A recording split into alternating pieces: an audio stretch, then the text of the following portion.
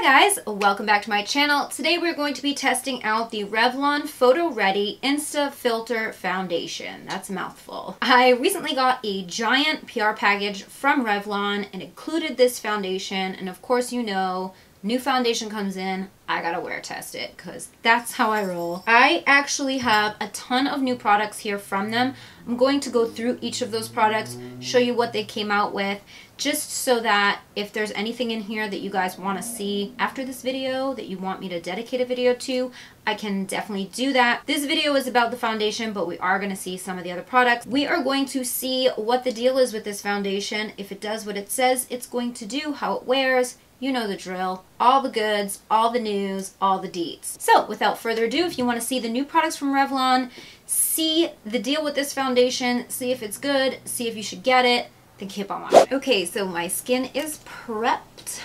I have primer on. I am using the L'Oreal Infallible Primer, the the glowy one. I can't remember the name of it, but I've been loving it and I know that it works well with foundations that I love. I wanted to use primers that I already know and love. I also filled in my pores with the Benefit POREfessional. So here we go. Here is all the foundations. This is the top row of the PR package with all the different products that they sent. So I need to pick a shade. Natural beige kind of looks like it might work. This is the next one up and it looks lighter. maybe it's more yellow. Maybe natural has more like pinky undertones. All right, I'm gonna go with natural tan because I, I really feel like that from the bottle looks like it's the closest match, but I don't know. So we're gonna try and see if this one works. All right, so here is what the applicator looks like. It's a sponge, and I feel like the idea was to have this be your beauty blender instead of a beauty blender, but it's a little too dense for that, I feel like. And how are you gonna wet it? This actually looks like it's going to be the perfect match. I'm really glad that I went with that color. So I'm just going to put this on my little tray. All right, so I'm gonna go in with my L'Oreal Beauty Sponge and I'm going to apply a layer on one side of my face.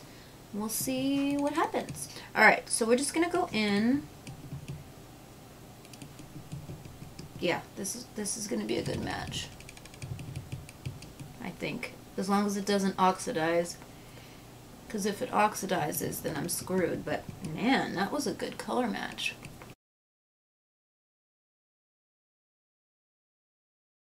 Okay, so that is one layer on this side of my face. And you guys, I gotta be honest, that's really pretty. I was not expecting, oh, I gotta blend it a little better down my neck here. Hold on. I really was not expecting it to look this good. Wow. It's kind of a satiny, a little bit of a luminous finish. Mm, no, it's not luminous. I don't know how to explain. It's not matte, but it's not like truly luminous. It's It's got a bit of a glow to it, but like nothing crazy. I'm going to apply the foundation to the rest of my face and we're going to take a look at it and then I'm going to read you some specs on it. So it definitely feels like it's a it's slippery. Like you can see it looks a little bit luminous right now when you first put it on, but then on the other side it looks like it's set and it feels like it's set. So I think you got to give it a minute to like dry down and set, but I'm into this. All right, so Revlon sent over this book with all of the new products and the specs. So let me pull up the foundation. Here is the little pamphlet on the foundation. It says Revlon Photo Ready Insta Filter Foundation, your own photo filter in a bottle, a next generation foundation with a built-in blender that makes it easy to create a flawless finish anytime, anywhere. The innovative formula mimics the effects of app filters for a picture-perfect look. The formula with a high definition filter technology captures and transforms light to create a soft focus effect. Shake before use, twist the bottom until dispensed for best results. Dot the foundation all over the face and then buff outwards. To clean, wipe off excess with dry tissue. Use the blender over and over, no need to wash. Really? Okay. So, the key features and benefits Unique built-in blender, its shape fits the curves of your face to help with application. The sponge is treated with an antimicrobial, so I guess that's to help prevent any bacteria from growing on the sponge. I guess that's why they're saying that it's okay to use. I feel like one layer was pretty full coverage. It's calling it medium buildable. Yeah, I mean, I got a good coverage. Innovative formula works with your skin type and texture to even and smooth skin with HD filter technology blurs and softens imperfections so that skin looks flawless in any light. Fresh faced natural finish all day wear. There are 12 shades and this foundation is $17.99. Um that's expensive for the drugstore I feel like.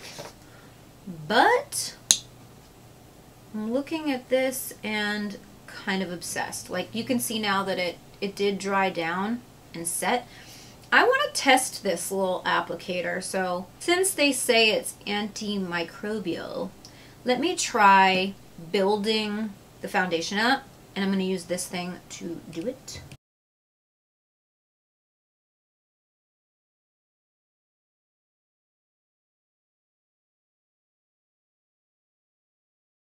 It takes a little bit of, you know, you have to really press because if you do dispense too much, this isn't super porous the way that, I mean, it is, but it's much firmer than a beauty blender, so it doesn't absorb as much product. You know, when you, when you're using a sponge, it's absorbing excess product.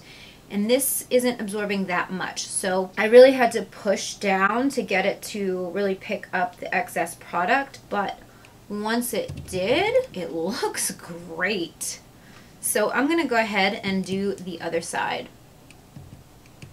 This is, I'm, I can't even believe how beautiful this looks. So that's with two layers and it layered perfectly. It's still setting that second layer. It's not cakey anywhere. It's not settling anywhere. Initial application, first impression, I'm obsessed. Like, I love the way that it went on. I love the finish. I feel like my skin looks good. I really like this, you guys. I feel like the price point is a little steep for drugstore. I feel like the drugstore needs to settle down with their prices going up and up. Yes, their products are getting better and better, but the point of them is to be the more affordable products. So make us great products, but keep the price low. That's why we love you.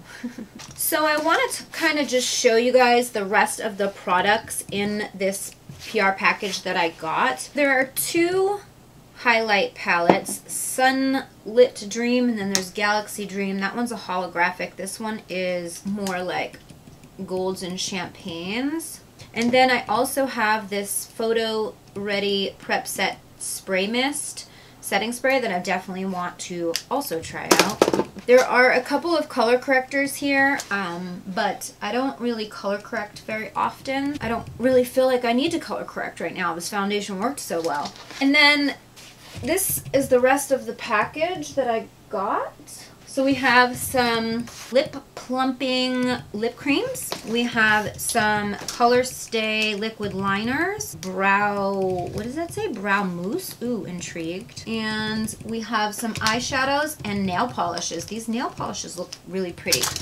So let's see what else is in here that we can... Okay, so they have a Color Stay Brow Kit supposed to provide 24 hour wear. Hmm. This is a wet dry powder designed to deliver versatility and style your brows with long wearing results. Color Stay Brown Mousse, Brow Mousse. This really looks interesting. It says build color and volume to enhance your brows without any harsh lines. Introducing a unique flow through 360 degree bristle brow brush that grooms, builds color, and sets brows all in one step. Ooh, that sounds cool. It says 24 hour wear, waterproof formula, wears all day without smearing or smudging. Ideal for users with medium to thick brows. That is this girl. Yes. There are five shades. Blonde, soft brown, auburn, dark brown, and soft black. And then we have the Colorstay Exactify Liquid Liner. These are the roller liners. I mean, it says that there's a vinyl finish, which tells me it's going to be shiny. I don't know if I'm going to like that. I haven't tried these wheel tips. I actually have one from Nudestix that I've been wanting to try. It says they la they're highly pigmented and they last up to 24 hours, so no skipping, precise line. They have a Colorstay eyeshadow primer. Formula wears up to 24 hours, non-drying, non-greasy. Says that it creates a crease-free eyeshadow that stays vibrant and lasts all day. Then we have 16 hour wear eyeshadow quads. There are eight shade combinations. We have Seductive, which is really pretty purples. Precocious, which is deeper purples. Addictive, which look like they're kind of neutral browns. And then we have Moonlit here, also looks a little bit on the neutral. Those ones are a little bit more like gray.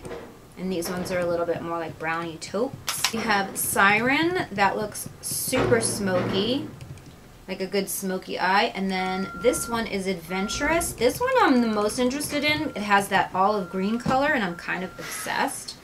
It looks really pretty. Decadent, which are like more blush tones, and then Passionate, which are blues. Now, if you guys watched my eyeshadow declutter, you know that I don't really get down with eyeshadow quads. They're just not really my thing. I like palettes. I like big palettes. But I think these two I'm the most interested in giving a try. So we'll see. It does say that the formula is crease proof, smudge proof, fade proof, 16 hour wear. These I'm really excited about. These are plumping lip creams. There are 10 shades. Have instantly fuller, smoother looking lips. Visibly enhances the size and shape of lips over time. Lips appear more sculpted and curvaceous, pleasantly cooling sensation for a gentle plumping effect. I'm gonna, I wanna try these. It says that it's formulated with volume Volulip. This new lip cream is designed to deliver instantly fuller, smoother looking lips, visibly enhancing the size of lips over time, while creating a pleasant cooling sensation for a gentle plumping effect. Okay, so can we stop and talk about how the foundation looks like it's slightly oxidized. Now I look a little bit Oompa Loompa, I think. I can't tell because of these lights, but it looks like it might have oxidized a little bit. All right, so what else? Oh, the Revlon Holochrome Nail Collection. Eight shades, four holographic and four chrome. Ooh, I am down for the chrome. Formulated without formaldehyde, formaldehyde resin, DBP, camphor, or toluene. They're formulated with innovative microfoil pigment. One of the colors names is Unicornucopia. Okay, so these are the holographic colors. You have Fairy Dust, Unicornucopia, Galactic Pink, and Hologasm. And then these are the chrome shades. We have Molten Magic, which is the silver here. Then we have Gilded Goddess, which is this one that looks, oh my god, so good.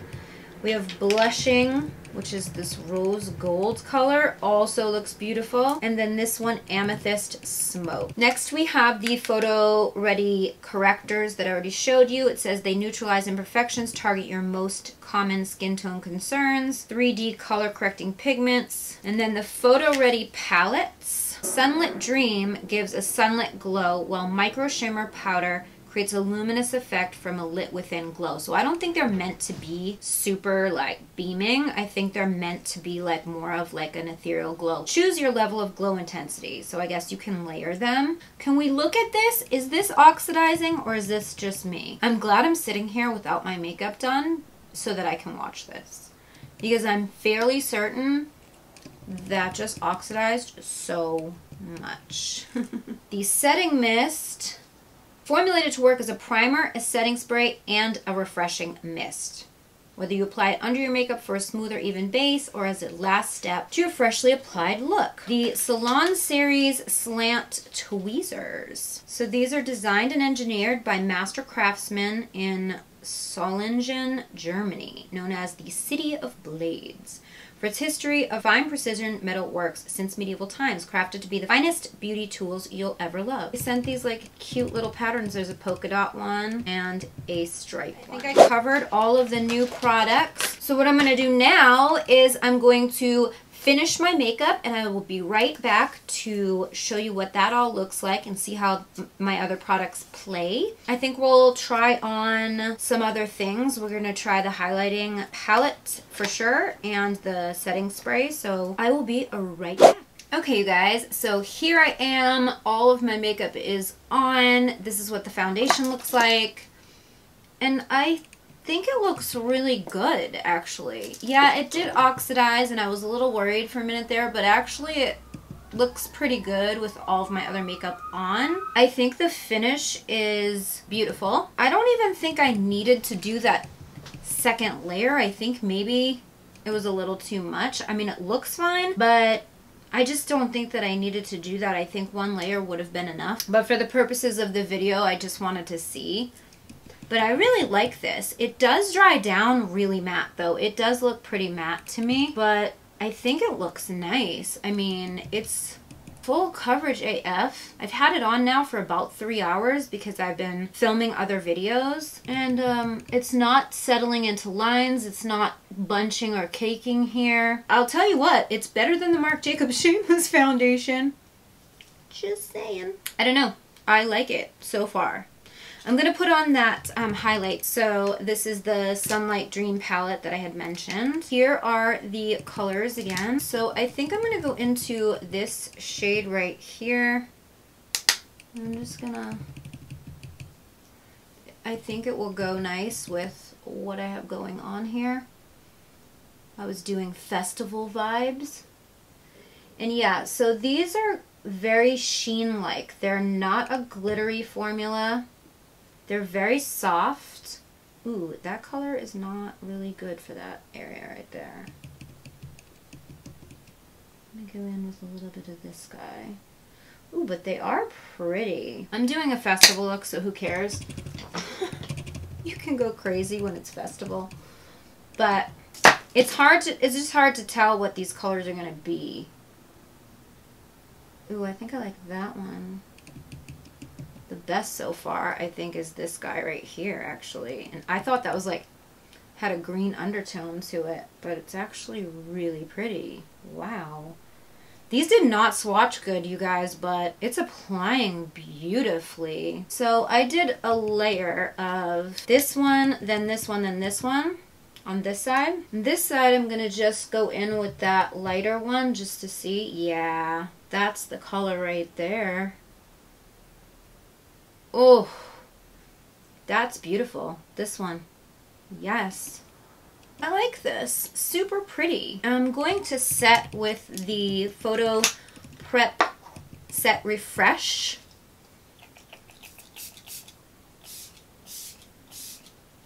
Ooh.